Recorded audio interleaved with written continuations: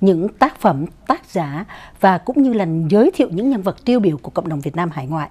Và trong tuần lễ hôm nay, Việt Nam xin mời quý vị tiếp đón trong chương trình của Phiên Đan một người trẻ và có nhiều thành tựu về văn học nghệ thuật.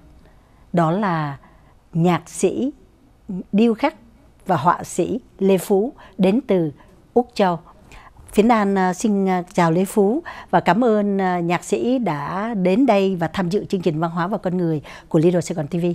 À, chào Phiến Đan và chào ờ, quý thính giả của đài Little Sài Gòn TV. À, thưa quý vị, à, khi mà Phiến An giới thiệu Lê Phú thì Phiến Đan cũng xin thư vài dòng về anh. Lê Phú trước năm 1975 là một sinh viên của trường à, Đại học Chính trị Kinh doanh Đà Lạt và sau năm 1975 thì Lê Phú gia nhập cộng đồng Việt Nam hải ngoại tại Úc Châu và anh tốt nghiệp kỹ sư à, ngành điện toán và sau trong thời gian đó thì Lê Phú lại tiếp tục những cái hoạt động văn học nghệ thuật, sáng tác, điêu khắc và hội họa. Nhưng mà kỳ này mà Lê Phú đến thăm Hoa Kỳ thì anh giới thiệu với chúng ta một chương trình văn học nghệ thuật của anh qua chủ đề nhạc khúc cuộc đời và Việt Nam được hân hạnh mời nhạc sĩ Lê Phú để hỏi về tất cả những gì liên quan tới nhạc sĩ Lê Phú.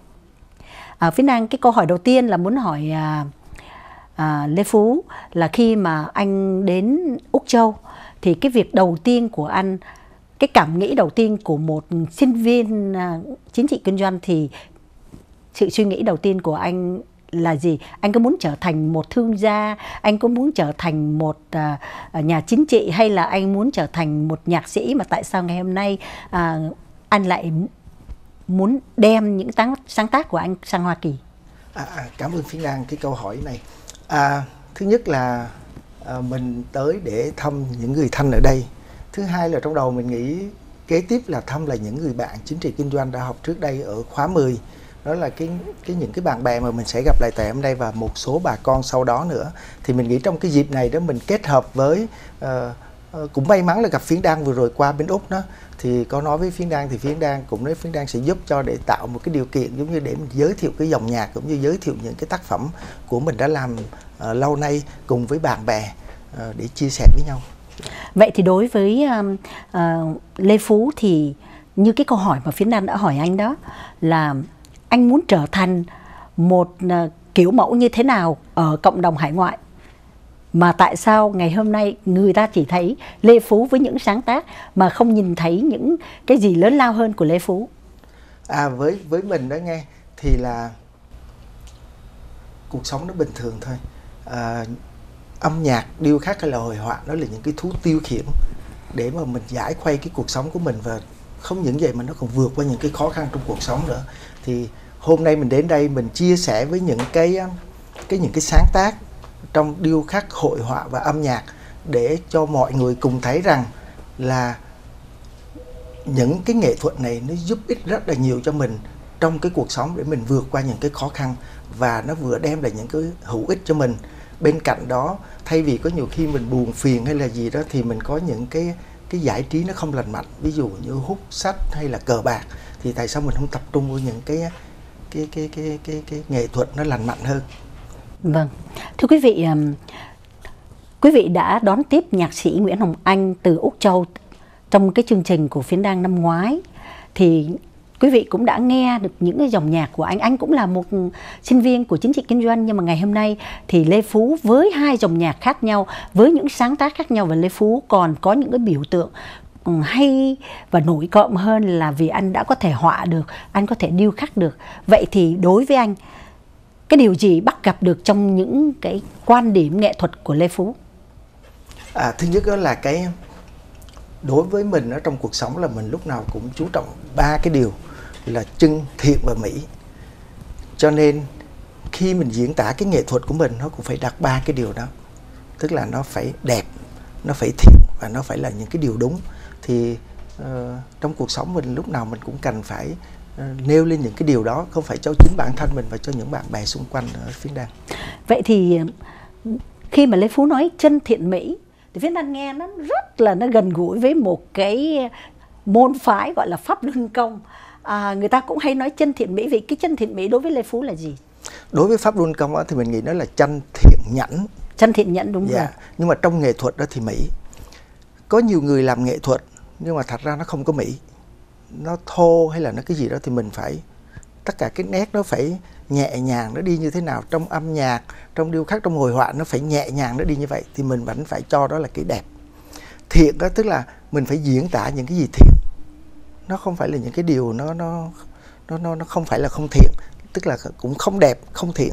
Và tranh đó phải là cái gì đúng. Có nhiều người người ta vẽ uh, hoặc nói lên những điều nó không có thực sự nó là một cái chân lý. Đó thì phú nghĩ như vậy. Vậy thì ờ, đối với ờ, lê phú uh, chân thiện mỹ là những cái đẹp những cái uh, nhân hậu những cái tốt để được đưa vào những tác phẩm nghệ thuật của mình. Thế thì nghệ thuật thì đối với Lê Phú nó có thể bắt nguồn từ cuộc sống hay là nó bắt nguồn từ những cái sự suy nghĩ triết lý mà mình đã được tìm thấy đâu đó? Cái này nghe thấy nó hay mà với mình đó thì thật sự là ai trong cuộc sống cũng làm nghệ thuật đấy. Đặc biệt đối với các phụ nữ mình thấy từ sắp xếp trong nhà cửa gọn gàng nấu ăn rồi trình bày uh, trong một cái dĩa ăn rồi bỏ một chút đỏ chút xanh rồi mọi thứ đều là nghệ thuật nhưng mà riêng mấy ông hay là những người làm nghệ thuật thì có vẻ được chú ý hơn. Nhưng mà mình nghĩ với những người phụ nữ mà tại gia đình là những người làm nghệ thuật hàng ngày luôn. Và đặc biệt là những cái nghệ thuật sắp xếp sắp xếp nồi niêu son chảo sắp xếp uh, những cái chén dĩa trên bàn cho nó đẹp cũng như sắp xếp áo quần. Đó là đối với người ngoại quốc đó là một cái nghệ thuật sắp xếp cũng độc đáo lắm. Thì uh, nói chung là cuộc sống là nghệ thuật. Nghệ thuật từ ăn nói cho đến cái gì cũng là nghệ thuật hết. Và nó phải là đẹp. Vâng thưa quý vị, chúng ta đang nhìn với nhau qua những góc cạnh của đời sống và đời sống của mỗi con người nó tạo nên những cái nét hoa mỹ hay là những nét thô thiển để tạo nên một cái sắc thái của cá nhân, cá tính hay là cái nét nhân bản của con người. Vậy thì khi chúng ta nói đến văn hóa thì những cái văn hóa đấy nó biểu tượng được qua những cái hình ảnh mà chúng ta bắt gặp được từ những bức tranh, từ những tấm ảnh hay là từ những khúc nhạc đã đi vào cái cuộc sống của chúng ta? Có nhiều người nghe nhạc thì bảo rằng ô cái điệu nhạc này nó bùm sùm quá, mình không thích. Có nhiều người bảo ô nó du dương quá. Hay có nhiều người bảo nó buồn, chán quá. Vậy thì đối với lê phú, sự buồn, sự vui và sự chán nó nằm đâu, ở đâu trong nghệ thuật của lê phú? Dạ tất cả những cái điều mà phiến đang nói đó là nhạc khúc của cuộc đời. Nó gồm những cái âm thanh trầm bổng, nó cũng có nhiều khi nó rất là chói tai. Đó thì tất cả nó đều tóm lại là mình thấy cuộc sống của mình nó chính là những cái âm nhạc. Cho nên mình gọi chung nó là âm nhạc của cuộc đời. Nó không những là âm nhạc, mà trong điêu khắc, trong hội họa và thật ra trong cuộc sống nó cũng là những cái cái nhạc khúc của cuộc đời. Thì mình làm sao cho nó êm dịu và đúng lúc, đúng nơi? Vậy à, cái sự đúng lúc và đúng nơi đó làm thế nào mà lê phú có thể bắt gặp được để đưa vào những cái giai điệu của mình? Câu này nghe hay lắm đó. Phiên đàn ví dụ như mình gặp một người bạn họ tâm sự những cái nỗi buồn của họ và đặc biệt có những người còn làm thơ được nữa họ đọc cái dòng thơ rồi họ diễn tả những cái thao thức những cái khắc khoải của họ cái mình cảm thông với họ bằng cách mình mình xin lại cái bản nhạc đó rồi mình diễn tả cái nhạc của mình âm nhạc của mình nó quyện với cái thơ đó để mình chia sẻ về những cái nỗi khoác khoải buồn phiền của người ta.